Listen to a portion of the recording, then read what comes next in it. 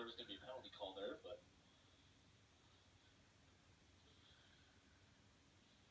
there won't be. But the face-off will come out of the zone. Lestrandria lines up opposite of Limey.